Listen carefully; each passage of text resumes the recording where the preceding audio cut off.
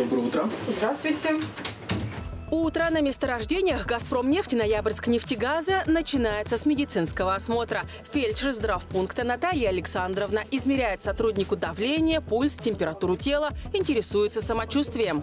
Как ваше самочувствие сегодня? Сегодня хорошо себя чувствую. Жалоб никаких нет? Абсолютно. Этот здравпункт находится на Холмогорском месторождении, одном из самых крупных в стране. В медицинском кабинете большой комплект оборудования. Здесь есть электрокардиограф, дефибриллятор, кислородный баллон, готовые наборы с необходимыми медикаментами на самые разные случаи. То есть мы э, при какой-либо ситуации мы не берем, не набираем препараты, а мы берем эту коробочку, она у нас уже готова, и все эти препараты используются. Помимо здравпунктов, на месторождениях предприятия организовано дежурство машин скорой помощи на экстренные случаи. Полноприводные автомобили доберутся до самых отдаленных объектов. Внутри есть все необходимое для оказания первой помощи – от глюкометра до аппарата ингаляционного наркоза. Автомобили скорой помощи наши здравпункты обеспечены всем необходимым оборудованием, как и кардиографами, и дефибрилляторами, и э, медикаментами. На предприятии заботятся о здоровье каждого сотрудника. Это один из приоритетов социальной политики «Газпромнефти» Ноябрьск нефтегаза. В этом году запущен новый проект – целевой медицинский скрининг работников офиса. Очень порадовало, что наше предприятие заботится о здоровье своих сотрудников. Можно сказать им огромное спасибо. В программу целевого скрининга входит набор лабораторных и инструментальных исследований, а еще консультации узких специалистов. Это очень удобно, отмечают сотрудники. Все врачи находятся в одном месте, что значительно экономит время. Углубленная диагностика занимает всего полтора-два дня. Результаты исследований передают доверенному врачу. На их основании он делает заключение. Благодаря такому комплексному подходу любые заболевания можно выявить на ранней стадии.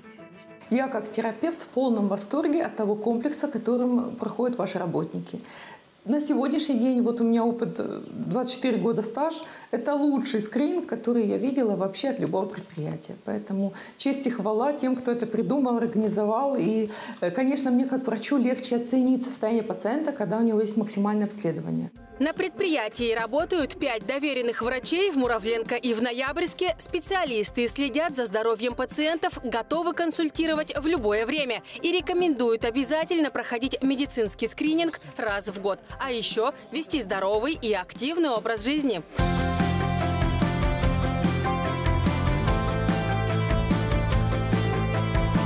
Тренажерный и кардиозал, тренировки по футболу и волейболу, женский фитнес и многое другое. У всех сотрудников предприятия есть возможность заниматься бесплатно в спортивных комплексах «Газпромнефть» Ноябрьск нефтегаза. Также компания проводит состязания по 11 видам спорта. Так здесь укрепляют дух и тело.